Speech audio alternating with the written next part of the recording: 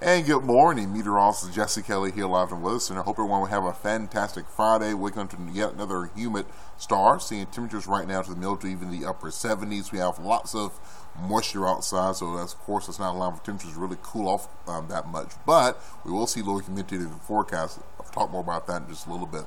78 degrees here in the Shreveport, 74 degrees down towards Natchitoches, and seeing temperatures into the upper 70s across DeQueen, Texarkana, also into Magnolia for temperature uh, 77 degrees.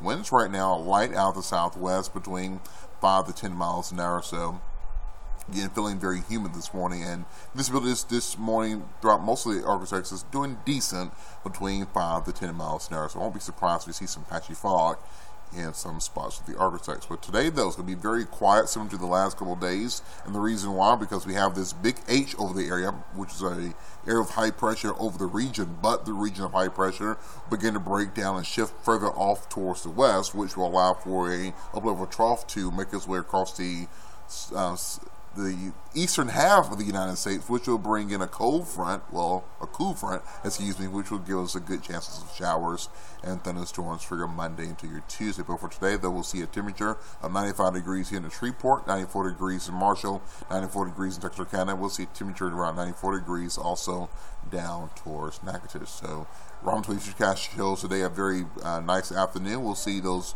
um, clouds mixing out this afternoon. Again, looking very lovely. So, if be having the outdoor plans today.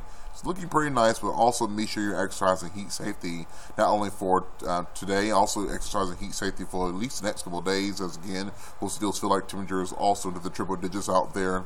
And for tonight, still temperatures falling back down to the 70s. Although this model is showing that we could see a few showers out there. I doubt it just because we have high pressure over the region, but high pressure will begin to break down, shift further off towards the west for Saturday and Sunday, which will allow for a few scattered showers for your Sunday, but better rain chances for your Monday and also for your Tuesday. The reason why is again, here's the ridge of high pressure over the region.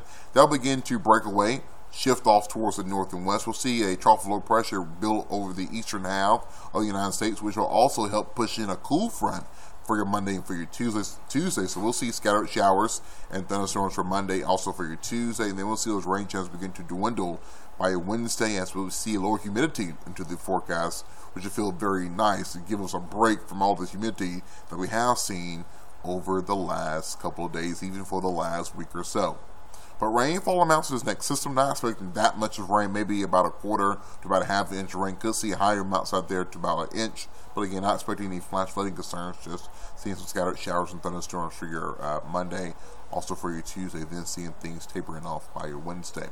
But for today, though, your day planner showing temperatures again starting off to the upper 70s, a very humid start. By the afternoon, though, we'll see temperatures to the upper 80s around noon. We'll see a temperature here in the Shreveport again, middle 90s feeling um, like it's into the triple digits outside, so make sure you're practicing heat safety. And next seven days shows a quiet picture for today. Same thing for your Saturday.